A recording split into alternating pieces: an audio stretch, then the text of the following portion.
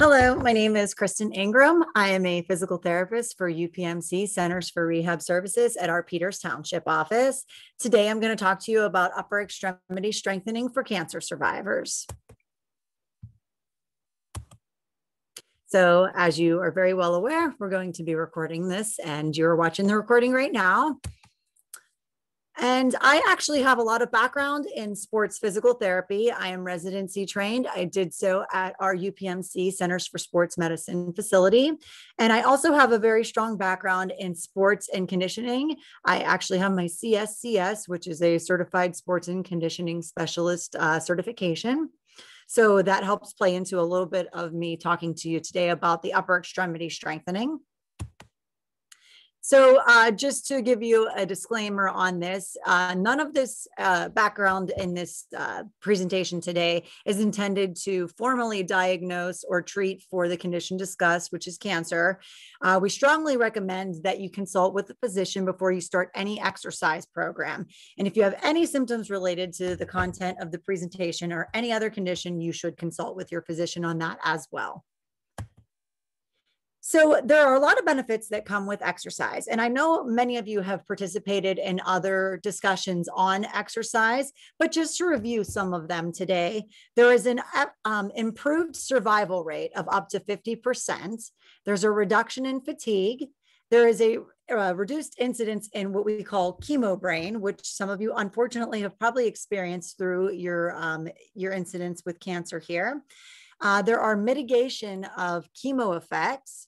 There's an improved sensitivity of tumors to chemo treatment whenever people exercise less depression with improved self esteem, which actually, beyond just cancer, is across the board. So, they have actually done studies to prove that when people exercise, it actually has the same effect as taking an antidepressant. So, that's a really great thing that we see with doing exercise.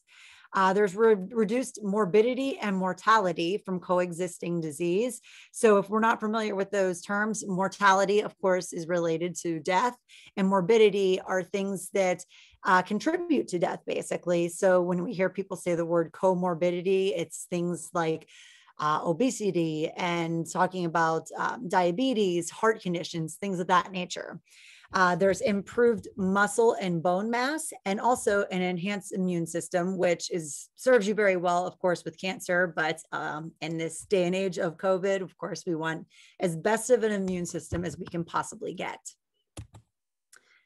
So, um, other considerations that you need to make before jumping into an exercise program are medications that were used in chemo or in conjunction with chemo. So, a lot of the medications that are used can have an extreme impact on our bone health, balance, cardiotoxicity, which basically means poison to our cardiac system, um, muscular pain, nerve damage, and cognitive issues that can arise any type of surgery that was performed. So, for instance, whenever somebody has a mastectomy, that can be a reason to hold on upper extremity exercises because there potentially can be lymphedema in your body um, that develops mostly in the upper body. So, um, a lot of times they won't have you jump right into a strengthening program, but I will talk a little bit more about that later on. And of course, the staging of the cancer is very important to look into as well. Higher stages of cancer are obviously going to be more impactful. So that's going to require higher dosing of chemo and radiation, and it's going to make it a lot harder to be very physically active. You're going to be much more fatigued from the cancer itself, as well as require a lot more chemo or radiation for that. So it might be a lot more difficult to jump into an exercise program because of that. Um, so, a couple things to consider after having breast cancer. It's typically very important to keep your arms moving after you've had something like a lumpectomy, a lymph nodectomy, or a mastectomy. However, this is strictly going to be based upon your doctor's guidelines that he sets forward for you. Typically, they will tell you to get into range of motion exercises. These would include doing wand exercises, table slides, elbow winging, chest exercises, shoulder blade squeezes, scapular retractions, and side bending, which I will show examples of later on in this presentation. Strength exercises, as I mentioned before, are typically held in this group for about four to six weeks. But again, this will be determined by your medical doctor. They may start them earlier, they may start them later, but this will be discussed with your physician. Another consideration is um, for people who have head and neck surgeries. They typically do want you to avoid stiffness in your neck and um, head region. Um, but again, by your doctor's orders, this is only ha- to happen whenever he advises, he or she, excuse me. It's important to do these often, but in small amounts whenever you do the exercises that are provided. You're not going to be doing any heavy lifting. You're going to do more so for endurance whenever you're doing these. So, whenever we say um, you're not doing heavy lifting, obviously not picking up heavy things, when we say endurance, you're going to do more repetitions as opposed to doing less. So, whenever I say repetitions, you're going to be doing maybe 30 repetitions of a lighter load as opposed to doing, you know, 10 to 15 of a heavier load. And then, of course, never pushing through pain as you may do more damage whenever you're doing any kind of stretch or lifting exercise after this type of uh, surgical procedure, whenever you have the head and neck surgeries. So, whenever you're approaching an exercise program, there's a couple different ways that we go about it. So, typically, there's two different types of training that people will go into. They go into either circuit training or they will go into body specific training. Whenever we start talking about circuit training, we hit all body parts during the workout. So, you will do a couple exercises for everything. So, two leg lifts, you'll do two chest lifts, two bicep lifts, and so on and so forth. When we look at body specific, you will do certain body parts on certain days. So, this can be split into doing two, three, four, five, or six days. So, to give examples of that, you might do a two day split where you do back and biceps and uh, triceps for one day. And then another day, you would do shoulders, legs, and chest. You would try to basically keep one large muscle group along with two smaller groups. So then we go into more of a three day split. So on one day, you would do chest and triceps. Another day, you would do back and biceps. And then another day, you would do shoulder and legs we could break it down more into the four day split where you basically do a two day split two times per week, or you can emphasize it a little bit more closely. For example, you could do legs on one day. On day two, you can do shoulders, biceps, and triceps. On day three, you could do just your back. And on day four, you can do your chest. When you start doing five or six day splits, you start doubling your more difficult body parts to develop. So that's how people typically start breaking up their exercise programs. But if you're just really trying to get yourself back into shape and feel a little bit better after you've gone through uh, the unfortunate uh, cancer that you've had placed upon you, you might want to look a little bit more into just doing some circuit training or just doing a couple days a week because worrying about developing body parts and things of that nature it's you know it, it's a little bit more difficult we're not worried about developing body parts and really trying to have you know the guns and things like that uh, we're just trying to get back on on the horse and everything like that so that's much more important so it's really important, though, on top of all of that, to make sure you include a cardio component. Um, you want to have some aerobic fitness into your routine. Ideally, you want to have 30 minutes four to five times per week. But realistically, you really need to work up to that. Um, the way that I usually tell people to try to start working up to that is to do multiple sessions per day. So, doing 10 minutes three times per day, or even 15 minutes two times per day, if you can handle that. But again, that might not even be possible at first. You might want to just start off with 10 minutes per day. It's okay to really just work your way up to that. It does not need to start off at 30 minutes per day. That might be a very lofty goal. Um, just working your way up through those things is the most important way uh, of doing that. So you could do this in various ways walking on a treadmill, walking outdoors. You can do biking if you're not able to put a lot of weight through your limbs doing fitness classes is another way to accomplish that but you know we a lot of times just always associate exercise with doing things at a gym or, or using some type of equipment can always just do exercise by gardening outside or playing with your grandchildren is another great way to break a sweat i'm sure a lot of you know that so um, any way that you can accomplish physical activity and just burn a few calories, however you want to do it, however you slice and dice it, it's a great way to get some cardio in. The other thing on top of all of that is keeping yourself very flexible. Stretching is absolutely very key and very, very important. Um, one of the things, if you ask multiple people, they're always going to have a different way to tell you that you should stretch. Uh, some people say before exercise, some people say after exercise. Is there really truly a right way to do it? If you look at all the research on it, nobody has a, a, the right answer to it. Some research says this way, some research says that way. Just do it truthfully. The way that I propose that you do it is to never stretch a cold muscle because that's when you start getting a lot of pulling in the muscle. I propose that you do it on a warm muscle. So do a little bit of walking first, do a little biking or jogging, whatever way that you like to warm up, then stretch your muscles. And then I would suggest doing a little bit in the beginning and a little bit after exercise to really get it loosened up. Whenever you do a stretch, what I can tell you is that the research shows that you should hold it for at least 60 seconds to see a permanent change in the length of the muscle. Now, this again, it's just like the cardio, it can be broken up. It does not need to be 60 seconds straight for you to see that permanent change. It's a total amount of time that you need to hold that. So you can do it two times for 30 seconds, six times for 10 seconds, or you can do the 60 seconds straight. It's however you prefer to do it. So what I'm going to show you are a few exercises to stretch things out. And I will get back to some of those ones that are after uh, breast cancer uh, to get things loosened up as well. But first, I'm just going to show you some general upper extremity stretches here. So from top to bottom and left to right, I'm going to show you first the uh, shoulder stretch here. I'm just going to back up a little bit so that you can see this. So the first one here is our shoulder stretch. Just gonna pull right across here like that. Again, holding it, making sure you get that 60 seconds in. And then we wanna work on our wrist flexor stretch. Just gonna pull down here like this. And I know that definitely gets me whenever I do that one. And then we're gonna go back into our tricep region just like this, pulling it back across the head. Now, the one that I have here, it's called the corner stretch.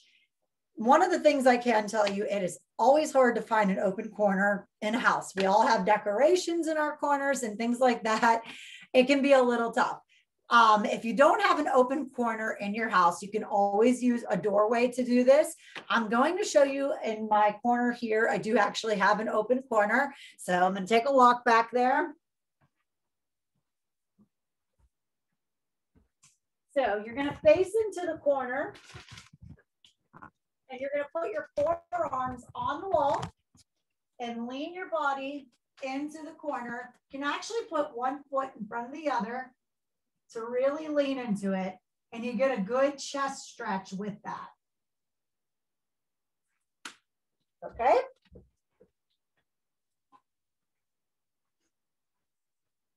Another way to stretch your chest muscles, if uh, if that's not adequate for you, can actually put your hands, clasp them behind your back, and pull in the front here so your hands are back here. You're pulling behind your back to really get a good stretch in front of your chest.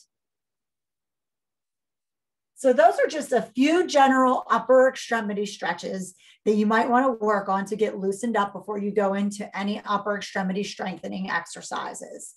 So now I'm going to move into some of the other exercises that are for the upper extremity for anybody that might be following a breast mastectomy. So Again, from top to bottom and left to right. Let me grab one of my tools here. Typically, whenever I'm in the clinic, I have a little stick to use, but I tell people all the time, you can use a broom, you can use any kind of stick. Right now, I'm using my Swiffer because that's what I have here at home to use. And this is one of the wand exercises. We call it wand flexion. So it might be a little difficult to see me, but we're going to try. All you have to do with this, you're going to lay down and you're going to bring the stick over your head, letting it fall back. Whichever side is the side that's uh, your involved arm, let the uninvolved arm pull it back over your head. The, uh, the involved side is basically just going along for the ride. And then you bring it back up, just like this. All right. Now, the next one I have on here is called a table slide. I'm going to show you this on a bench right now. Typically, you can do this at your kitchen table or a counter. I'm using my bench in my weight room right now. Whichever arm is involved, you're basically going to put a towel underneath your hand and let it stretch forward as far as you can take it and then you might have to slide your body back a little bit to really get the full stretch on it. And then you pull it back in.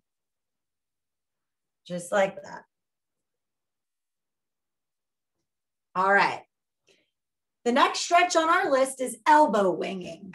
And this is to help with getting full external rotation in our arms. So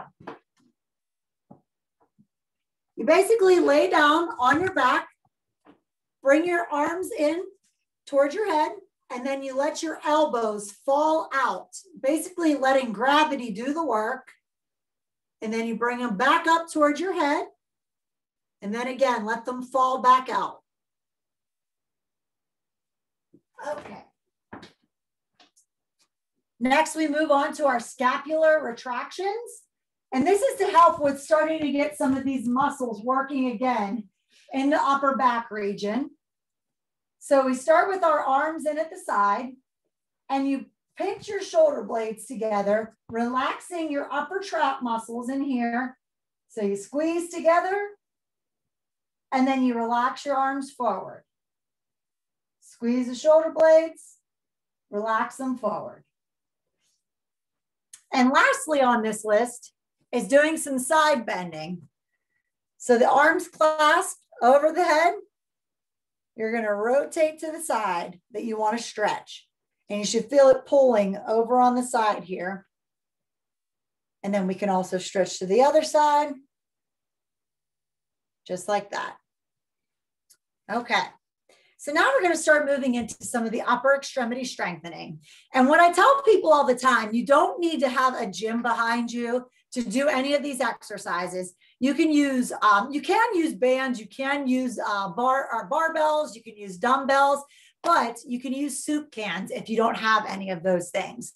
One useful tool is to have some of these bands. Bands are extremely cheap to be able to purchase. You can get them on Amazon. You a lot of times can have somebody cut bands for you and they're extremely cheap to get.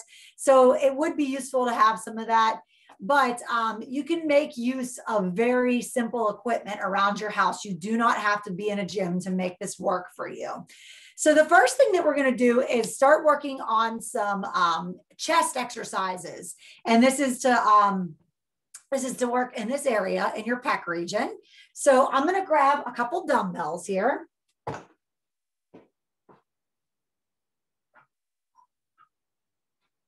And all we're going to do is work on a simple chest press. So arms are starting right here. Feet are going to be flat on the ground. Back is going to be flat on the bench. If you do not have a bench available, you can lay on the ground flat as well. And all you're doing is pressing above your head, bringing it back down to chest level. If you are laying flat on the floor, obviously you will not be able to bring your elbows down as low. You're going to have to bring them to about floor level and you won't, you'll just be pressing straight up right there whenever you do that. Do not bounce your arms when you do this. You want to make sure that you keep them nice and slow motion concentrated when you do this. How you would do this with a band if you do not have dumbbells or soup cans available to you. You would wrap it around your back, like so, and wrap it around your hands to make it a little bit tighter, like this. Lay on your back and press it up. Just like that. Okay. So we're going to move on to the next exercise here. And this would be if you don't feel comfortable laying on your back, we can also do this in a seated position. So similar exercise, we're just basically going to move it forward. Now you might not be able to do as much weight whenever you're seated forward like this. It's a little bit harder to do when you're in this position, but you're just going to do that same motion like you were just doing laying down. And again, this can also be done with the band wrapped around your back. You might have to, now the difference with the band is you're going to have to probably grab a little bit tighter in because the band is a little bit easier than laying on your back. So I choke up a little bit on that one. Just like that. Okay, so moving on to the next one here. Same thing, we're doing another chest exercise. This one is called a pec fly. And what we do with this, it's what I call hugging a barrel whenever you do this, because you keep a slightly bent position in your elbows. You want to basically, again, hug a barrel just like this. And whenever you're laying down, it looks more like that. Imagine there's a barrel on your chest and you're just wrapping around it. Those elbows never get straight when you do this. Okay. All right, so let's go ahead. We're going to start looking at doing some back exercises now. So I have people start with doing laying on their belly.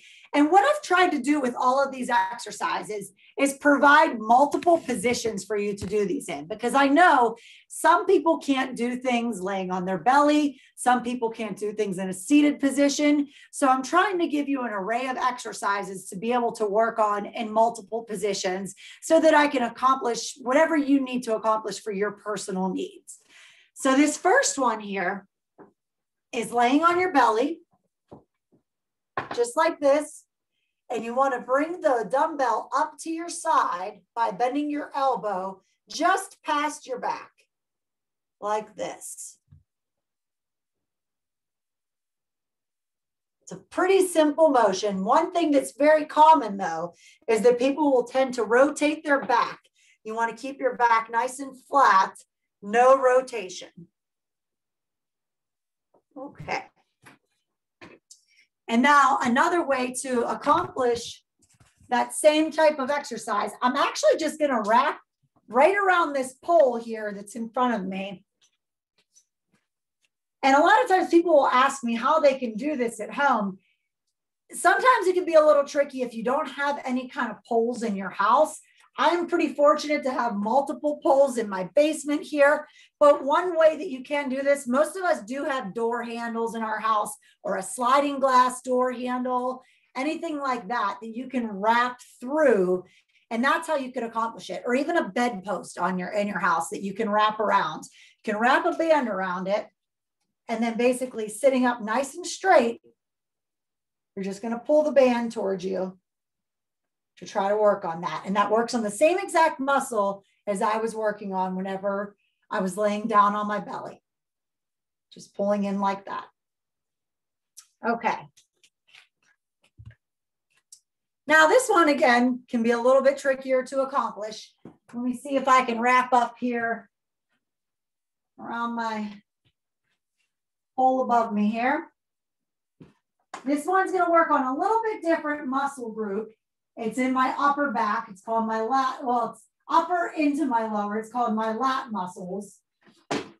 So with this one, I'm just pulling down like this. you're basically pulling through the elbows, pulling downward, making sure you're keeping your chest upright as you work on this. Like so. Now, one thing that we might have to do with this exercise, sometimes I tell people with the band that they have to maybe close it in the top of a doorway and do one arm at a time if they don't have something to wrap it around on the top. And that's okay. If you have to break it up like that, perfectly fine. But you know, we have to find different strategies for doing things at home whenever we don't have certain equipment to suit our needs. All right. So now we're going to start looking into the biceps. Whenever we do this, um, there's multiple ways that you can work on your biceps so that we start targeting different muscle parts. So most of the time we see people working on their biceps and they're doing the palm grip up, just like this. And that really hits your biceps in the best way. Now, you'll also see people doing the thumb grip up. This hits your biceps, but it also hits a muscle. It's called your brachioradialis. I like to call it your drinking muscle because, hey, bringing the beer to the mouth, right? That's what they always told us in PT school. So work on it like that. It hits a different muscle group, but it also helps the biceps out too. You also can do a palm down, but you know, it, it does hit your biceps, but it's a little bit trickier of a, a muscle to work there. So I usually suggest to people to do the palm up and the thumbs up whenever we work on the biceps. All right, now we're gonna work on the triceps a little bit. Couple different ways. I'll show you the seated one first here. You might wanna use a little bit of a lighter weight with this one. So we go here and we bring it down, just like that. You can also use your arm to help support because this can sometimes be a little bit harder. I'm showing it with a, the same weight that I was doing before. I'm not trying to pat myself on the back. I've been lifting for a lot of years. I wouldn't suggest using a heavier weight with this. But I, like I said, I've been lifting for a lot of years. Just like that. And now the motion that I'm going to show you laying down is a very similar motion as to what I was doing seated.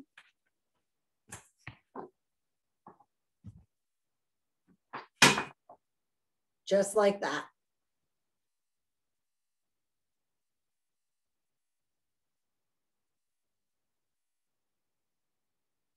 And this one, a lot of times people tend to lose a little bit of control on. They start to move their shoulders around a lot like this. You don't want to move the shoulder whatsoever. The movement is just coming from the elbow like so, just right there. And you should feel all of it in the back of the arm.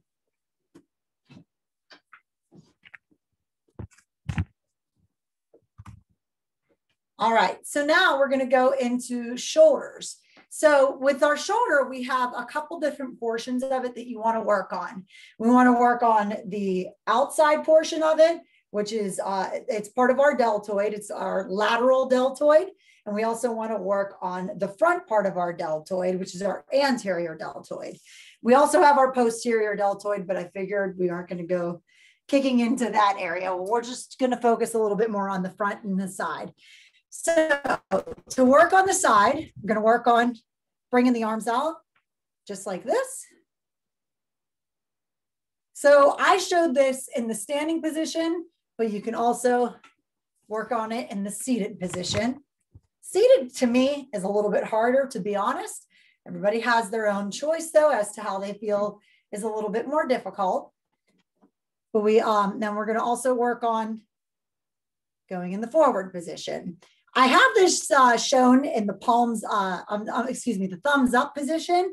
You can also do this in the palms down position just to give a little bit of a different turn on it. The reason I showed it in the thumbs up position, sometimes people have a little bit of issue in their shoulder. The thumbs up position helps to avoid any kind of what we call impingement in the shoulder, which is kind of like crunching down on some of these different rotator cuff muscles. It might just be the best position for your shoulder. I have no problem with people doing palms down. Just don't do a thumbs down position because it's definitely no good for your shoulders. So again, out to the side, out to the front. And then lastly, this is another shoulder exercise. We can do this seated, we can do this standing. I'm just gonna show it seated for now. And it's a shoulder press. This is uh, one of the ways to do it. You can also do them out this way. I'm just showing the safest way for doing them, keeping them in nice and tight towards your head. This is a good way for people who have any kind of shoulder issues to do it, to do them nice and close in, close grip just like that. We want to make sure we keep the shoulders stable. We don't want them wobbling around, keeping a nice, tight, tight close grip. So, of course, there's not going to be any questions. It's not really a live presentation right now, but if you do have any questions for me specifically, you can always send me an email and contact me at my office. I'm happy to field any questions that you might have about anything. And that is everything for today. There are some of my resources. And I thank you so much for listening to my presentation.